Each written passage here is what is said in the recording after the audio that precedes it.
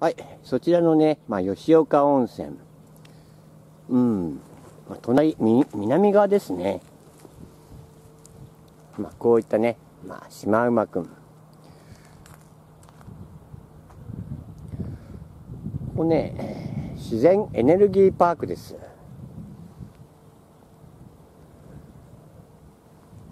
こういった感じね。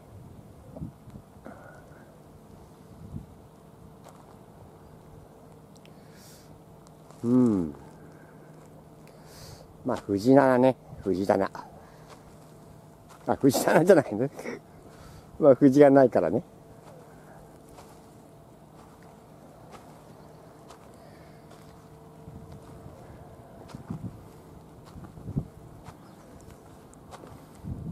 うん。まあ、大きいですね。風力発電。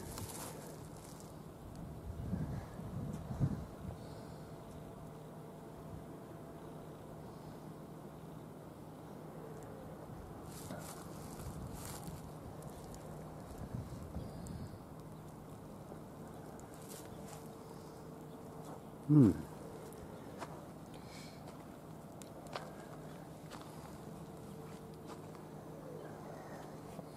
あそこの木の陰にね、何かね、まあ、祠みたいのがありますよ。うん。後で行ってみますね。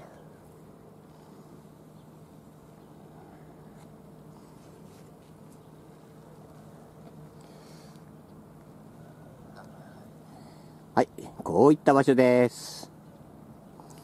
自然エネルギーパークです。はい。先ほどのね、撮影ポイントの棚がそちらです。うん。そして、まあ、こちらの、まあ、石の祠。うん。まあ、お稲荷さんですかね。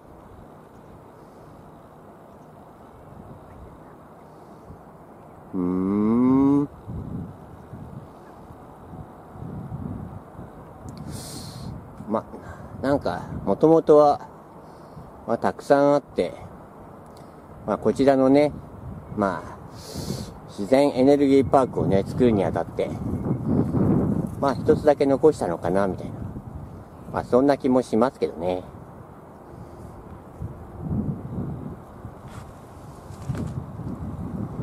鍵さん。まあ、こちらの公園ね、まあ、パークゴルフか何かかな。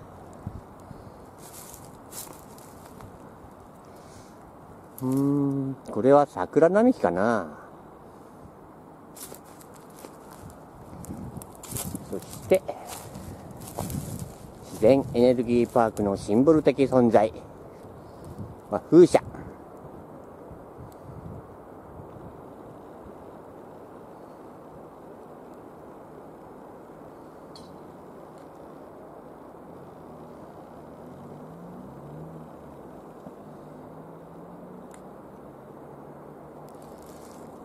うん。なんか桜の季節に、まあ、来るといいかもしれませんね。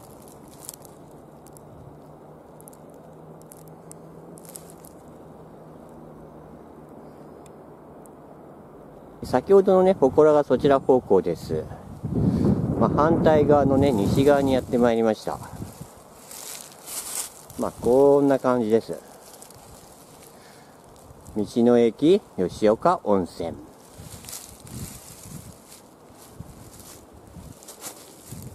うん。そうするとね、まあ、こちらね、水力発電施設ですね。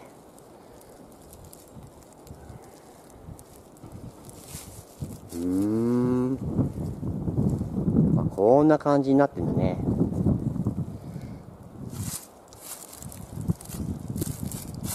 ほっほすごっ。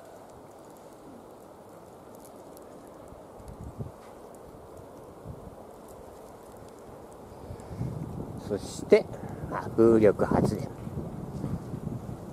うん。でもなんかあれですね風はあるんですけど回ってません。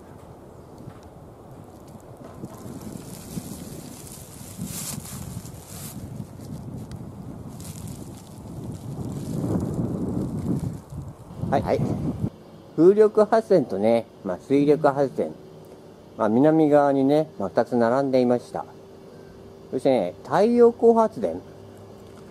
まあ、ソーラー発電はね、まあ、どこなのかなと思ってたんですけど、こちらの建物ですね。うん、ソーラーパネルがいっぱい、まあ、つけてあります。まあ、こちらでね、まあ、太陽光発電、まあ、ソーラー発電はされてたんですね。はい。そんなわけでね、これにて、自然エネルギーパーク。うん。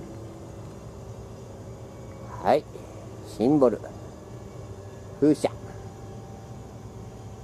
はい。はい。道の駅。まあ、吉岡温泉、戻ってまいりました。うん。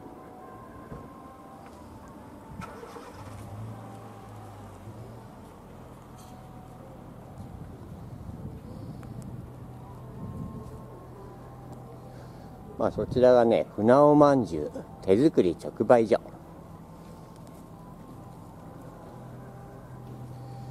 まあそしてね、まあこちらがね、うん。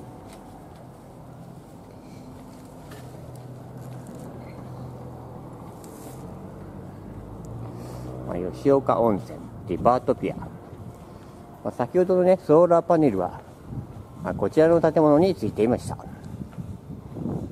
はい。それではね、ご視聴ありがとうございました。